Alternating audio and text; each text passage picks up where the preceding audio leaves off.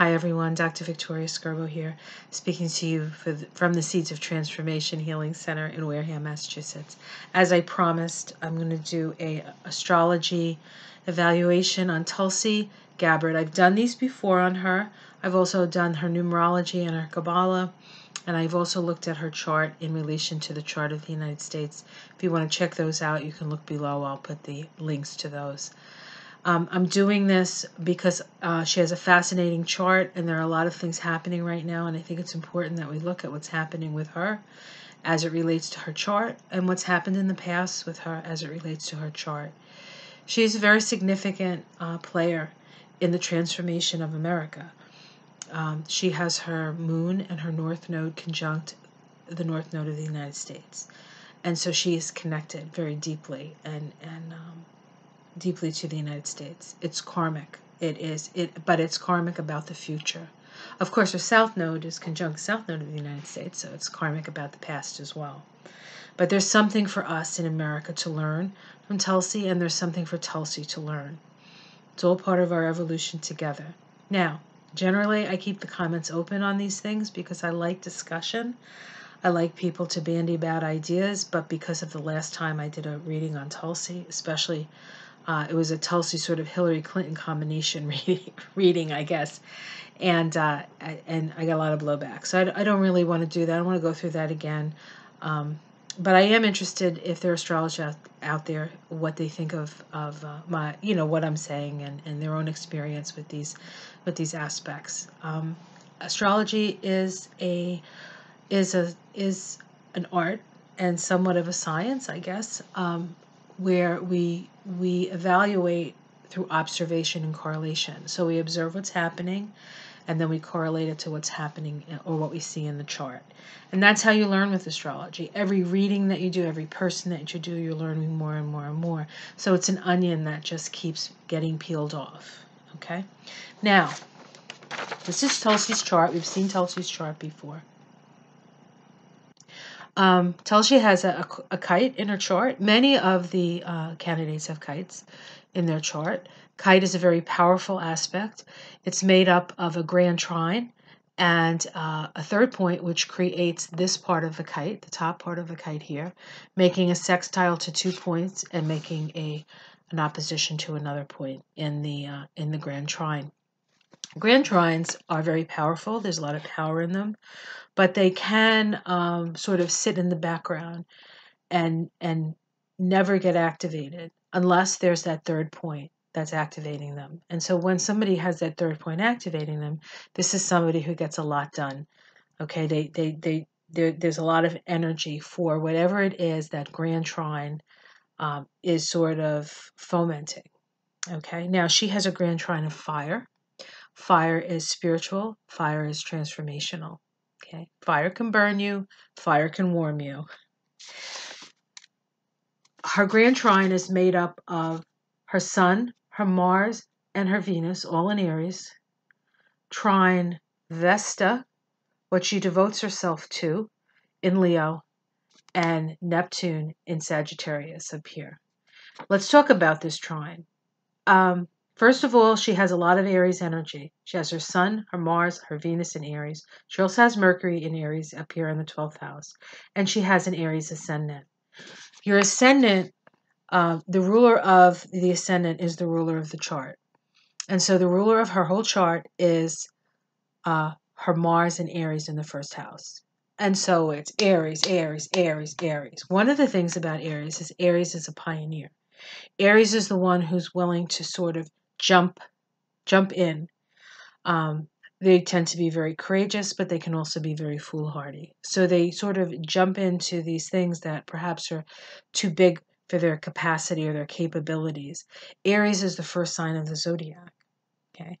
Um, however, a spiritualized Aries can be one of the greatest assets that we have. Okay. An unspiritualized Aries can be a brute. Okay. Um, she is not a brute. She is spiritualized. I believe she she is. Uh, uh, I believe that she is individuated, and that means that she is breaking free from um, the herd. Whether she is spirituated, I don't know. That will we will see that as as she as she does her her earthly work. Um, and not everybody under, maybe understands what I'm talking about, but the evolutionary astrologists out there probably uh, should. Okay. Um, okay, so here we have Tulsi. Now, um, she has all this Aries energy, who she is, the sun, her identity, Mars, her actions, and Venus, her values. Uh, trine Neptune in Sagittarius. Neptune is the planet of spirituality, not religion necessarily, but spirituality. It's our idealism. We're very idealist. Neptune can be very idealistic, uh, very inspired, but it can also be deluded. And having in Sagittarius, the, the sign associated with truth, we can be deluded thinking that we know the truth. Um, we also can be inspired by the truth. So, one of the things about astrology is you're reading energy, it's the person's choice, the free will of the individual, how they're going to utilize their chart. Um, and then we have down here, we have Vesta in Leo. Now, Vesta is a uh, asteroid, and it's what we devote ourselves to. Okay, and Leo is the heart, and so she would need to devote herself to uh, what is in her heart, and she has Vesta um, in Leo in the fifth house, so she could be investing, uh, devoting herself to her own ego. okay, so there's that possibility. This is somebody who has a very, very healthy ego. okay. Now, the third point, the thing that activates this this grand trine is Pluto. Pluto, the planet of transformation. She has an almost exact opposition between Pluto and her sun. Whenever you have aspects to Pluto, the planets aspecting Pluto go through transformational process through the life. So if you in your chart have uh, Pluto in an aspect to your sun, your identity goes through a transformation. Your Venus, your values. Your Mars, your actions. Your Jupiter, your beliefs. Your Saturn, the structure of your life. Um, the moon, your emotions. Okay, so so Pluto changes everything that it touches. But Pluto, as the expression of the soul, okay, um, is has a dual desire nature for things to stay the same and for things to evolve in the opposite direction. Pluto evolves through its polarity point. The polarity point of Pluto in Libra is Aries. And she has her Sun there, she has her Mars there, and she has her Venus there. Pluto opposite those three planets. Plut- uh, oppositions in general create opposition, and they create a sense of, they can create projection. Um, they can see the enemy outside of themselves um, when it's actually within. Um, there's a reflection.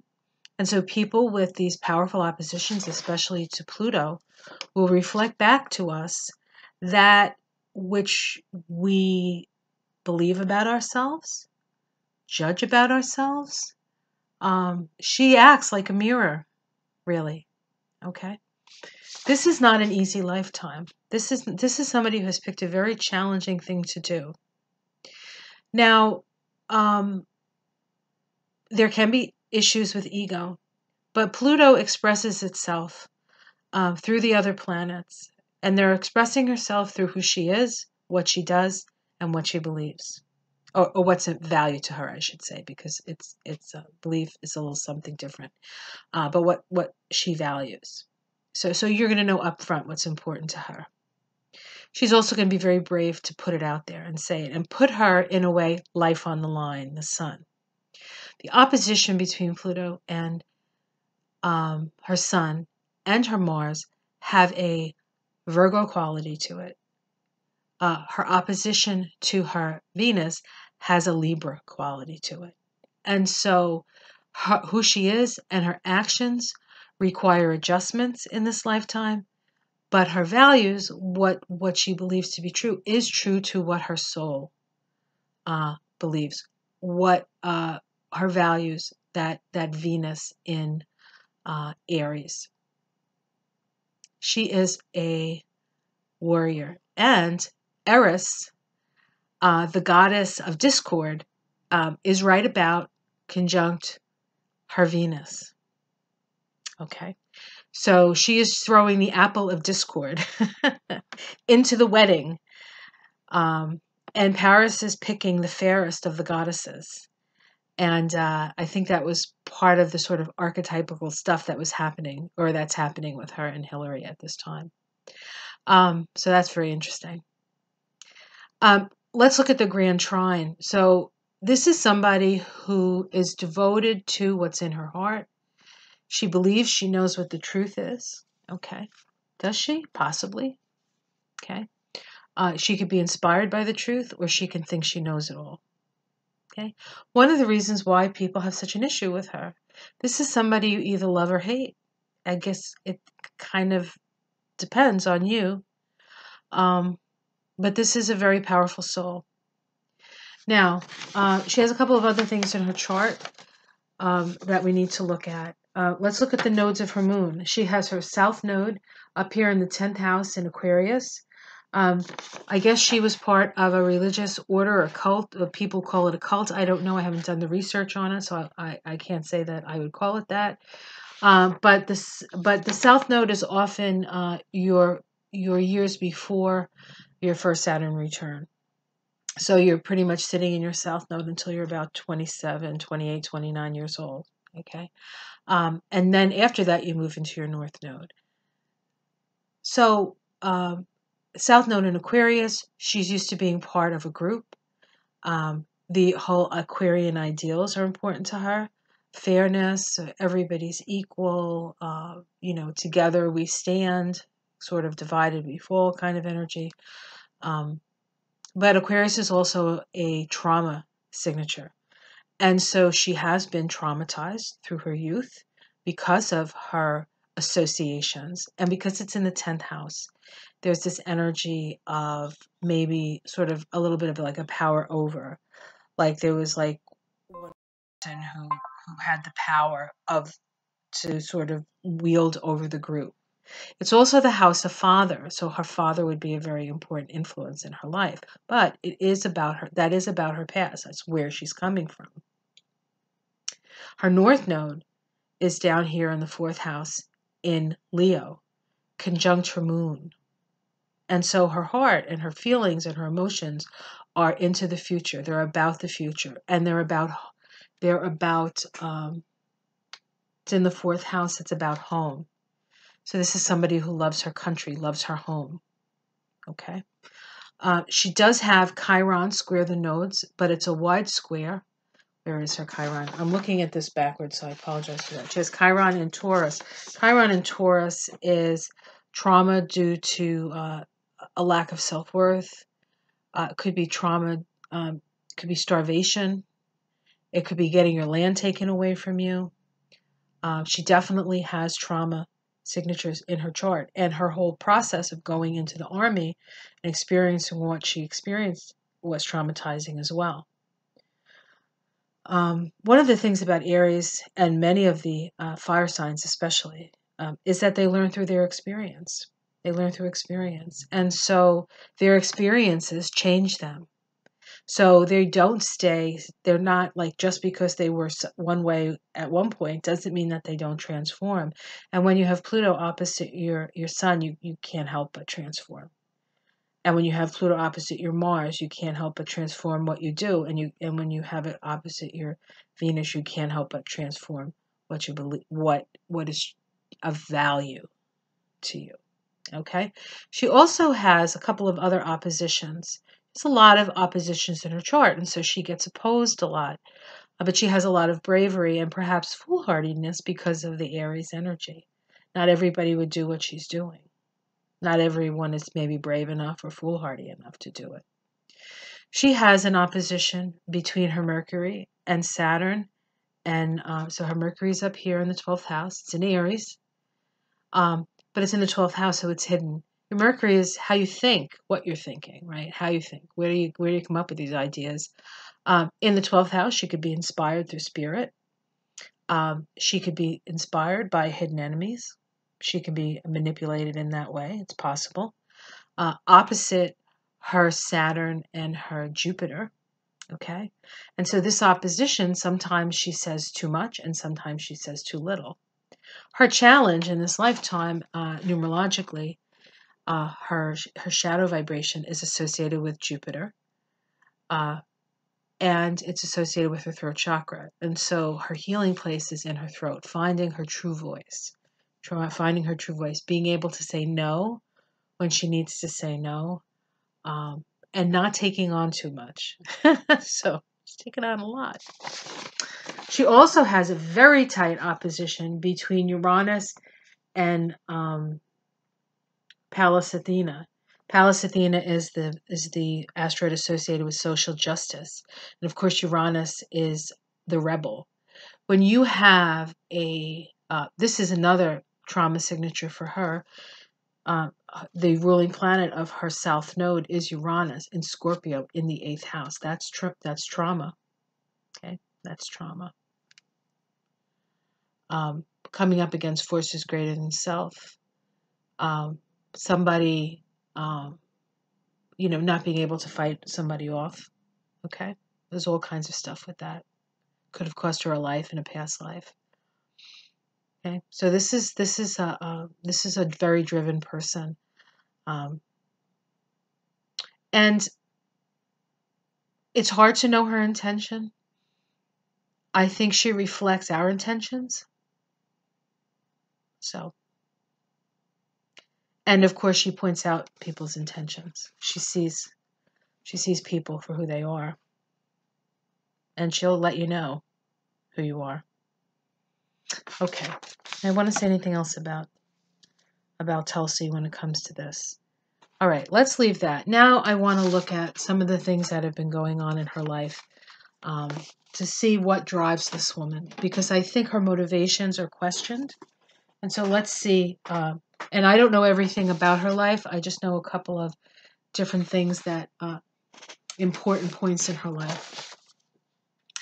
9/11 was very important in her life. It it sort of steered her in the direction of her destiny in a way, uh, or at least the first step of her destiny.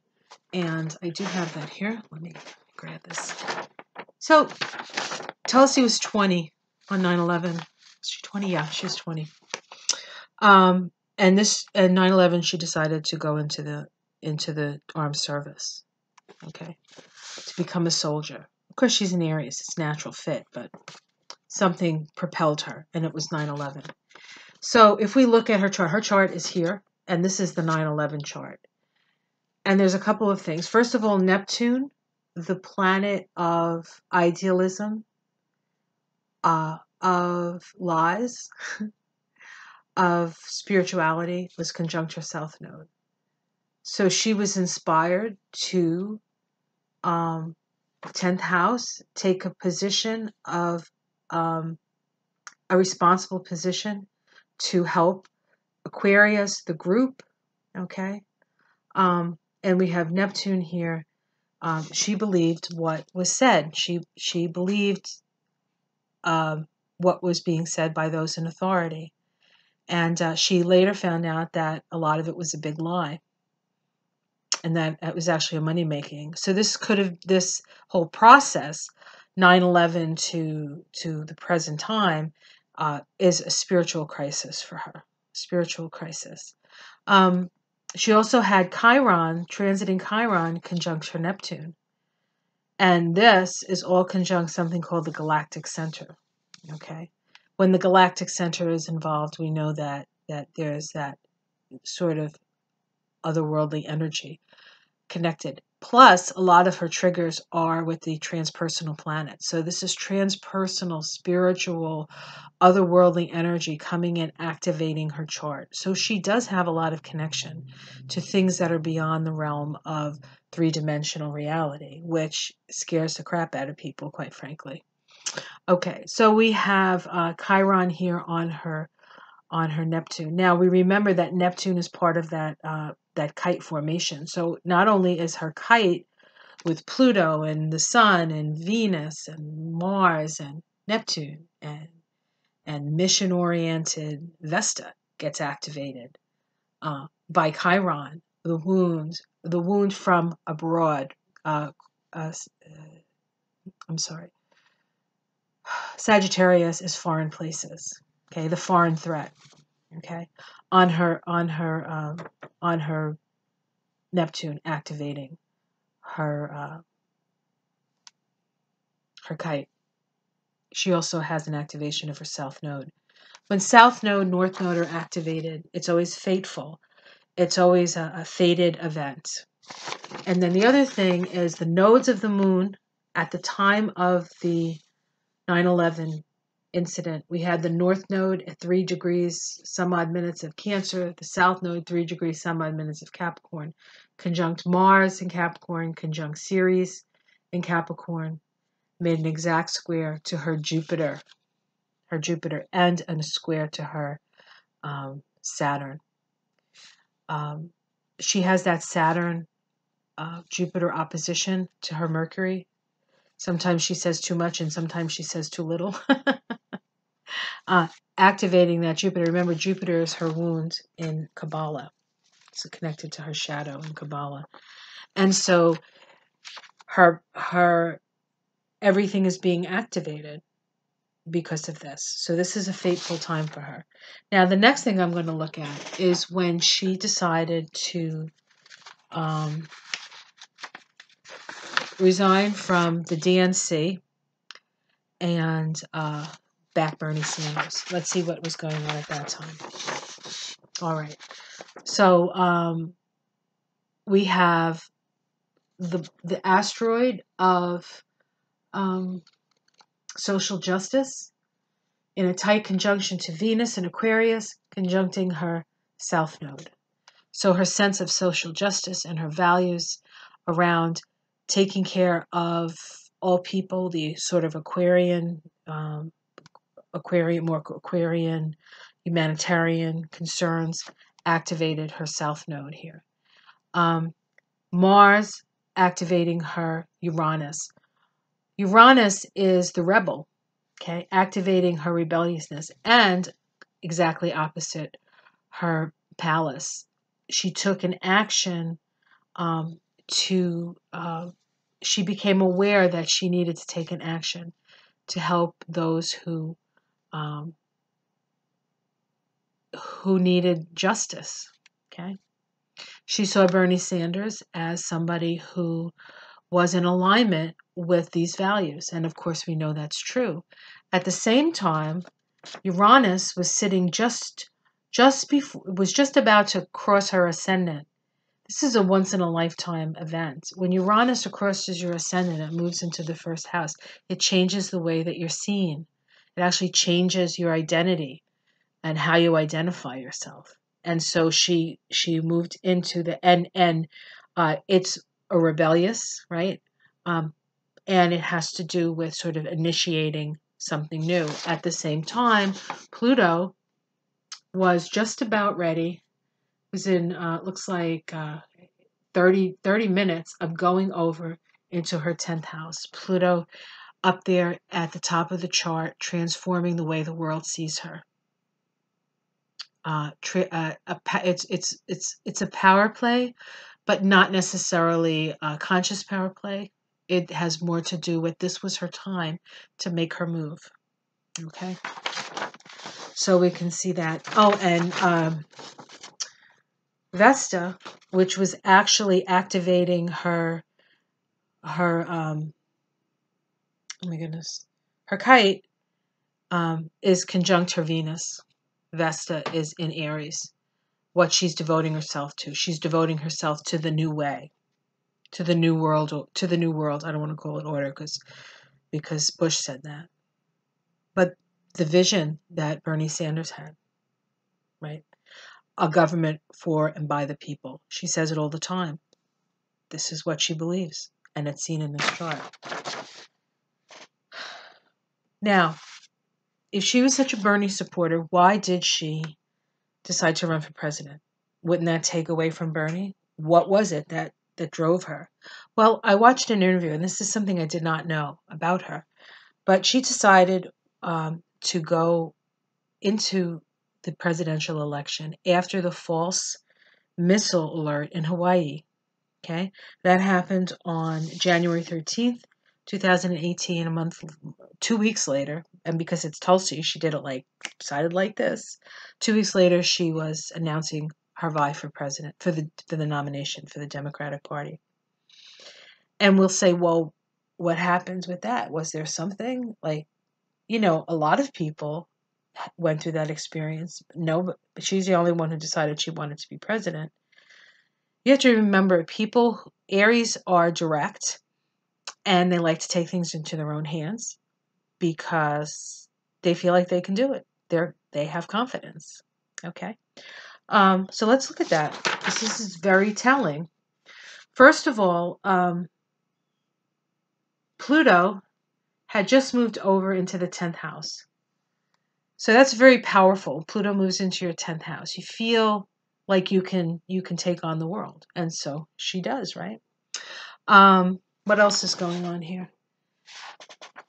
Vesta. Now remember, Vesta is very important. Vesta is what you devote yourself to. Um, Vesta, I believe, is also connected to the military because of the devotion it takes to be in the military, devotion to service to others. Uh, Vesta made a conjunction to her Uranus. So this is her mission. Okay, this is her mission um, the ascendant of the incident, exactly when it happened, the ascendant is conjunct her south node, uh, which says to me that this both activated her woundedness, uh, but also was a fated time for her. This was a fated experience for her. This sort of pushed her into something that she wasn't really intending on doing. She was just going to do what she was doing. She was probably going to, you know, stump for Bernie. And then this happened. And she said, uh oh, I have to go into action because that's the type of person that she is. Uranus, here and now in her first house, fully in her first house, conjunct her Venus, what's important to her and what she values. Now, of all the things opposite her Pluto, Venus is the only one that is in a, what we call a full phase opposition. Both her Mars and her and her uh, Sun are in gibbous phase. So, who she is, her identity, and how she acts still need to go through adjustments. They still need to go through the process of having to make adjustments to herself in order to fully express her full, her her soul's sort of purpose. But Venus is in full phase, and so what's important to her is right out there. Okay, this is what I value. And we have Uranus activating that. Not to mention that Eris, the goddess of discord, is conjunct her Venus and her Uranus at this time. And so this is this is the the Eris rolling in the apple to disrupt the powers that be. Okay, disrupt the powers that be. Another very faded, faded time. Okay, and let me see. I think there was one other thing I wanted to mention. The nodes of her moon. Okay, she was having a nodal return. It wasn't quite there. It was still a couple months away. But she had a Ceres, and the north node conjunct her north node and her moon. And so she also had uh, the south node conjunct her south node. She's got the ascendant there. She had um, um, Juno in Aquarius uh, also on the south node. So her nodes got activated. And so what we see in Tulsi's chart is when these things happen, her her um, her kite gets activated. Vesta's always has is always part of the picture. Uranus is part of the picture. Pluto, uh, all of these transpersonal planets. She has a very very special uh, mission. She has a special mission. What is it? What is it going to look like? I don't know yet. And she, neither does she. I mean, she has, she thinks she knows, but how it's going to actually manifest itself will have a lot, excuse me, to do with this whole interaction and this whole sort of project, projection. We're learning and she's learning at the same time. I say she's a very brave woman for taking this on, a very brave soul for taking this on. And then the last thing I want to show you is this. this is her chart again. And I said, before I said, don't ignore this up here, but now we're not going to ignore it.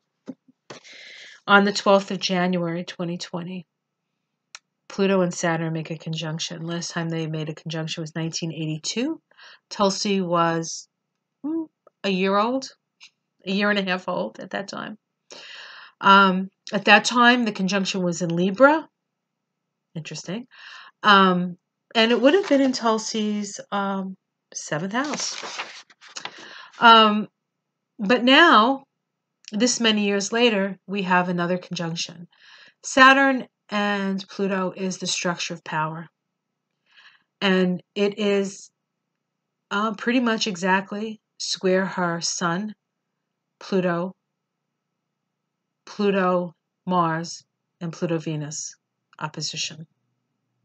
So, whether or not she's president, she is going to be here um, to show us something.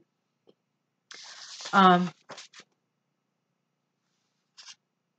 Pluto and Saturn conjunct in Capricorn really is about taking responsibility. And here's a woman who's willing to take responsibility that most people won't. Here's a woman who is willing to take a leadership position when most people would say, oh no, um, that's crazy. Who's going to do that? I'm not I, I wanted to share this because I thought it was important to look at her from a, a broader perspective, to get the personality out of it. Um, and as I said, I'm not going to do comments on this because I, I don't want a deluge. Um, but she's on a mission and she's going to do uh, what she feels she needs to do to, you know, quite frankly, save the world. Now, is that grand? Is that delusional? Is that perhaps? It is. Um, can she do it? I don't know. But she's going to be a part of the great change and the great shift. And so she's going to be around unless, unfortunately, something happens to her. And I hope that that does not happen.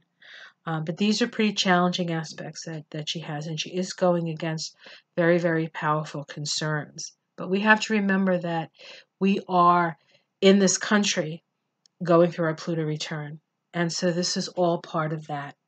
Now, I think what I'm going to do, and not today, uh, maybe in a couple of days, I do want to do uh, something on Hillary Clinton because, uh, and there'll be no comments on that. You can bet, no comments, uh, because um, there is a similar, uh, there's a plutonian energy in both of these these people. Now, now she only has Uranus in um, in Scorpio, but there's so much Pluto in her chart that she is she is uh, Scorpio by proxy, really.